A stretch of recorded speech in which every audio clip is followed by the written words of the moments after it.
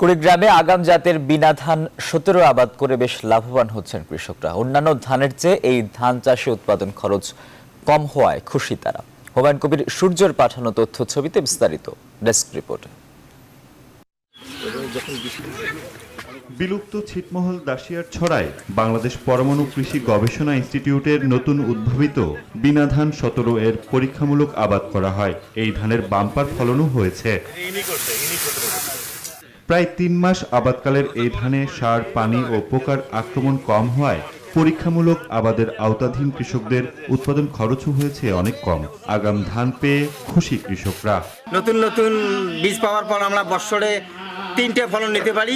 ধানটা আমার মনে হয় আবাদ করছি আবাদটা খুব ভালো হয়েছে। কৃষি অফিসারের সাহায্য পায়া এখন কাতি মাসে ধান বসি বিনা ধান সতেরো এর জীবনকাল কম খরা সহিষ্ণু ও অধিক ফলনশীল। এই ধরনের আগাম ধান চাষের মাধ্যমে দু ফসলি জমিতে তিন ফসল এবং তিন ফসলি জমিতে চার ফসল উৎপাদন করা সম্ভব বলে জানিয়েছেন কৃষি কর্মকর্তা। আমাদের যে লক্ষ্যমাত্রা যে এখন এক ফসলি জমিকে দুই ফসলি রূপান্তর এবং দুই ফসলি জমিকে তিন ফসলি রূপান্তর করার যে লক্ষ্যমাত্রা সেটা পূর্ণ হবে।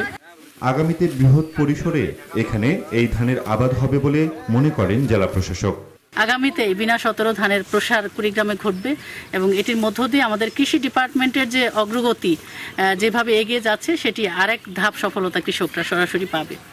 দীর্ঘদিন গবেষণার পর মাঠ পর্যায়ে পরীক্ষা করে বিনাধান সতেরো গেল দুই হাজার পনেরো সাল থেকে বাণিজ্যিকভাবে উৎপাদনের জন্য কৃষকদের মাঝে বীজ বিতরণ করা হয়।